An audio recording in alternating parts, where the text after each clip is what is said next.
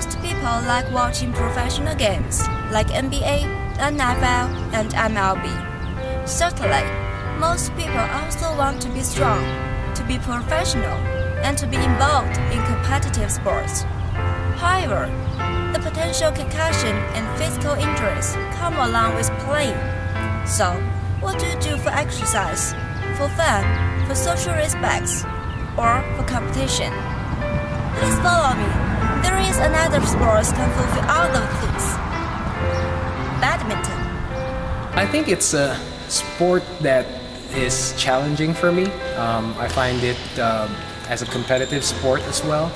So being challenging and competitive, it, it kind of fits in my personality, I guess. I, I, am that, that type of a person. You need agility, you need to be fast, you need to be patient, very good condition, and you need to be very smart. You have to use your head all the time.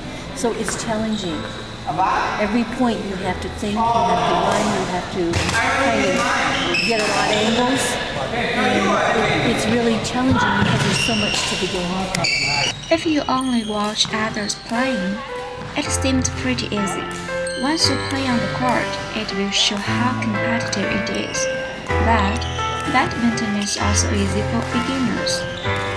They, they don't see badminton as a very restrictive sport. They see it as something that they could come in, um, even how basic their skill levels are, even if they're pro level, you know, they, they have the opportunity to play tough games, but at the same time for the beginners, they also have the opportunity to just hang around and try to play in a game.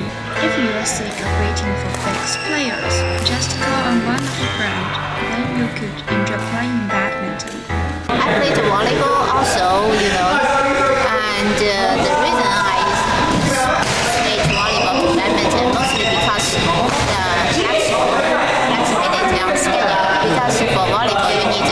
like six people and play against some other people, so it's not easy.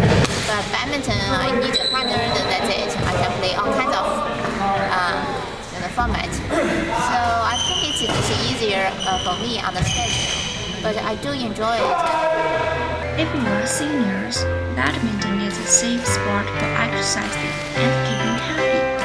Did a, did a good workout. I had a stent put in my heart about a year ago, and this probably has kept me alive prior to that, and definitely after that. So, what do you think now? Please remember, badminton is a good choice for you.